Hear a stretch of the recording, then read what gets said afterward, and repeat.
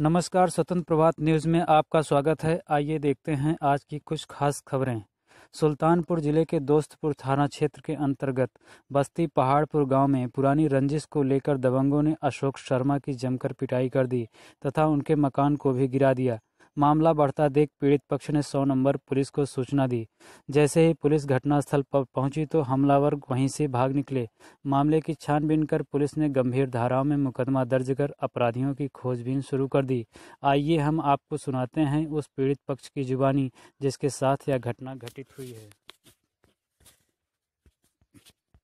फिर वो लोग सर उसे हमको जान से मारते बचते नहीं किसी भी कीमत नहीं बचते मतलब, कोई बचा नहीं पाता हमको सर। आपको जान से मारने की नीयत से ही यहाँ आए पूरा सर जी नियत एकदम मार डालते हैं हमको बचते बचने नहीं पाते किसी भी कीमत पे सर।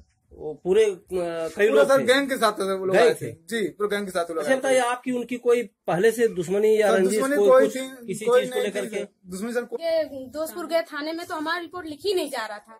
नहीं जैसे आपने कहा कि विपक्षी का विचार पहले से ही था तीन दिन पहले से। हाँ। क्यों कैसे आपको शंका थी तीन दिन पहले चार दिन पहले मारने की नीयत थी? हाँ दो तीन दिन पहले हमारे वहाँ नया घर बन रहा है वहाँ भी गए थे ये लोग देखने इसका मतलब पहले से कोई रंजिश हाँ है? नहीं कोई रंजिश नहीं थी लेकिन ये लोग मानना चाह रहे थे वही भट्टे का रंजिश है और कोई बात नहीं है। भट्टे का रंजिश है। भट्टे का हम एक एक एक लाख एक लाख कुछ करके ऐसे पैसा वो लोग दिए थे हम हम लोग ने बारह लाख दिया। और वो भी मानवता के हिसाब से।